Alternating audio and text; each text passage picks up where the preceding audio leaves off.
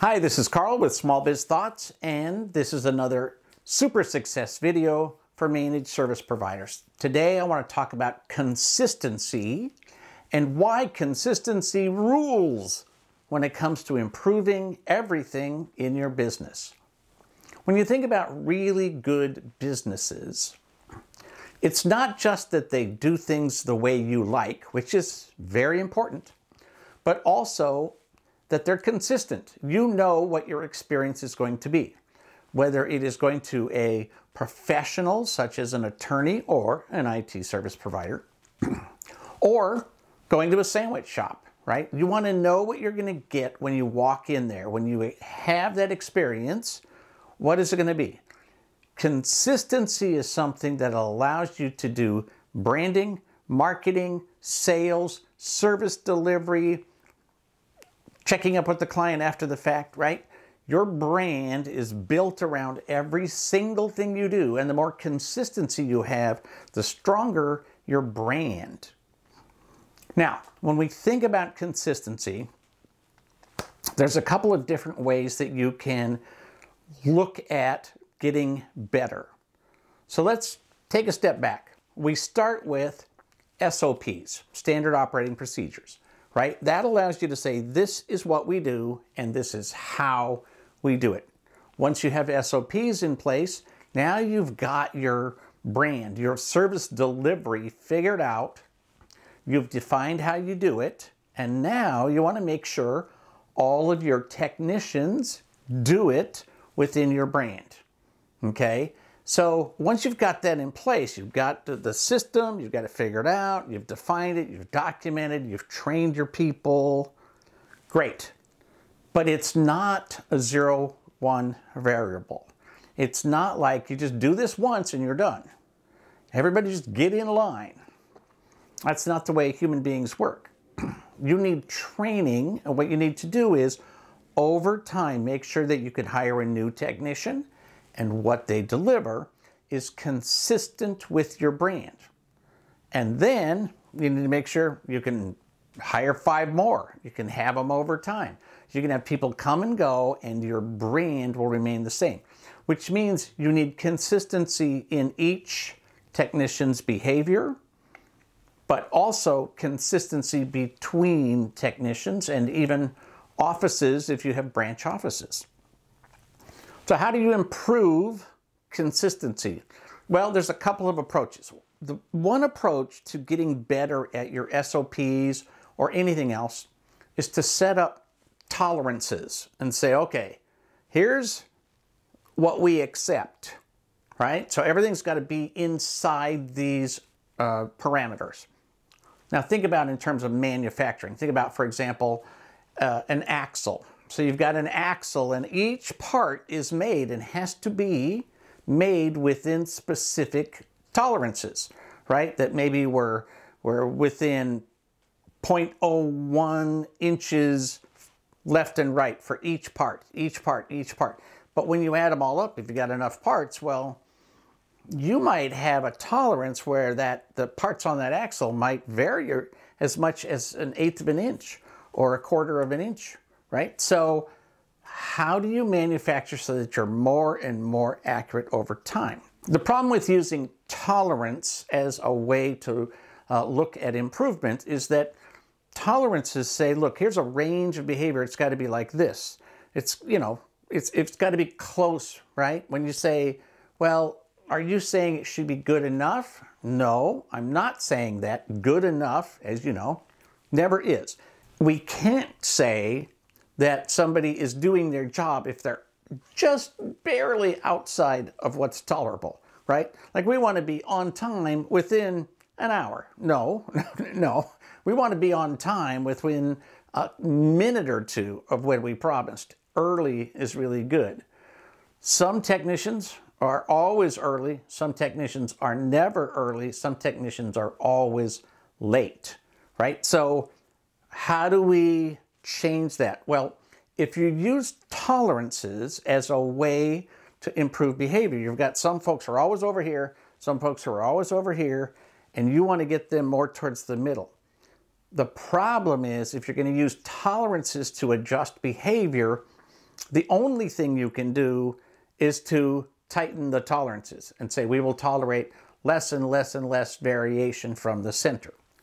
The thing is, when you, when you think about behaviors and service, you can say these are our tolerances. This is the range that we accept. But what you're really saying is this is good. And somebody might always be over here and somebody might always be over here, but they're both good. And we don't want almost good and we don't want them to be outside of that, but we want them to be in the box that we call good. And as Jim Collins and uh, Morten Hansen would remind us, good is the enemy of great. So if you measure tolerances and all you can do to improve behavior is tighten, tighten, tighten the tolerances, what you're saying is that there will always be a good and that will be it and we're okay and good is good. Well, that's fine. If you don't want to be great and you're not willing to try to be great, then that's fine. You've, you've made your bed and you can lie in it, right? But what if you do want to improve beyond that? Well, there's another approach, and it is what's called accuracy, right? So when you think about consistency, how do you get consistent at anything? Whether it is throwing a football or shooting a target or archery, shooting baskets, providing excellent service, being on time for your job, checking in with the client every time, not just every other time that you do service. How do you get better at all the things you need to do? Well, what you do is you say, let's look at consistency. So consistency, the, the variation of behavior when you start is going to look a lot like it did for tolerance. But instead of saying, as long as you're within these borders, we're good, consistency says, we're going to always be focused on the center. And so now we're going to just get better and better and better, more accurate, more consistent, more reliable around delivering what we know to be the target that we are after. And if you think about it, you know, there's some jobs like kicking a football in a football game, right? The, the actual kicker might only have to kick 50 times in a season when it really matters in a game. But does that mean that they only practice kicking 100 times in a year or 500 times in a year? No. They kick as much as they can, 40, 50 times a day, so that they can be as consistent as possible. Now, if you've got tolerances, right, to use the football analogy, tolerances, and you say we're going to make it tighter and tighter and tighter, what you're really doing is moving the goalposts, right? But if you look at being more and more consistent, your technicians can practice. And I always give the example of I want every technician to know every backup system, and every month I want them to practice a restore it is absolutely not good enough to say, I got a report from my backup uh, vendor, my BDR vendor. They gave me a screenshot that says everything is working fine. The light is green. We're golden. I, I 100% guarantee you that is not proof that your backup works or that your technician knows how to restore from backup. Ultimately, every client deserves to have a technician mount an image of the backup and copy data from the backup and disaster recovery system onto a working hard drive and verify that it worked.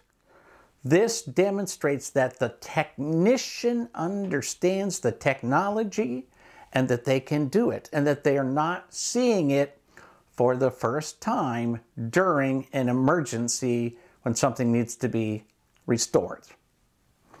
So that's something that you could say, well, okay, good. We're going to do that once. We're going to train them, check the box. They're trained, they're good to go. Life is good.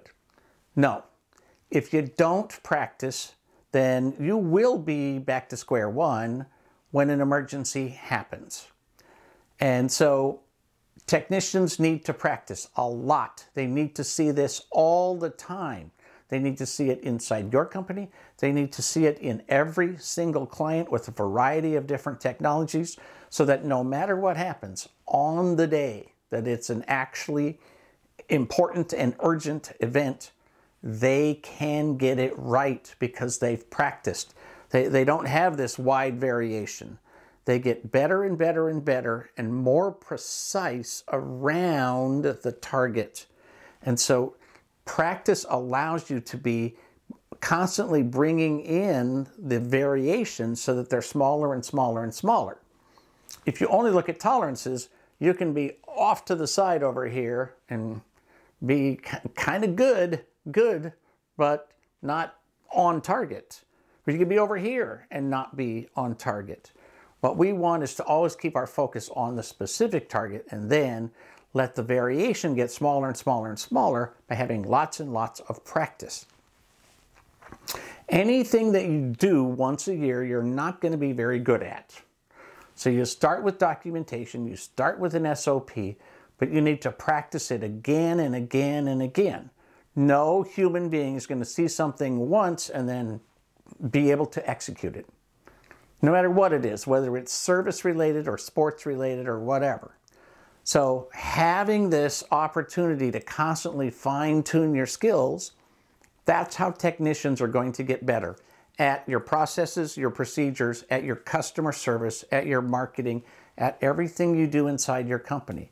So when you think about how you evaluate technicians, you can't say, oh, did you pass this test? You're 80%? Okay, good. You know, check the box. You're done with that. You're, you're certified. Now we can just tell people you know exactly what you're doing. Hmm. we all know that that's not true. You know, when you, when you pass a test, that's good. That means it's gone into your brain at least once. It's come out at least once. It doesn't mean you should be in front of a client relying on that information for the, their security or for their reliability or to just stay in business till Thursday. Technicians need to be able to practice their stuff again and again and again and again. And to be quite blunt, let me just say, if you evaluate technicians on something where you have not asked them to practice again and again and again, what you're really evaluating them on is your management style, not their commitment to their profession or their ability to deliver services. It is the manager's responsibility to make sure that employees get what they need to be successful. And that includes practice in the things that you say are important to get their job well done. If somebody never has the opportunity to do something right, well, chances that they're going to do it right because they took a class six months ago or six years ago are very, very slim. So it's a simple equation. You need SOPs, you need training, then you need consistency, which means practice, practice, practice. So if you want a quick tip on how to become more productive, more accurate, and more profitable in your business in every single thing you do, practice those SOPs. They do no good if they're in a nice little folder somewhere in a system that documents everything, but nobody actually practices it. For Small Biz Thoughts, this is Karl Palachuk, wishing you the best of luck in everything you do.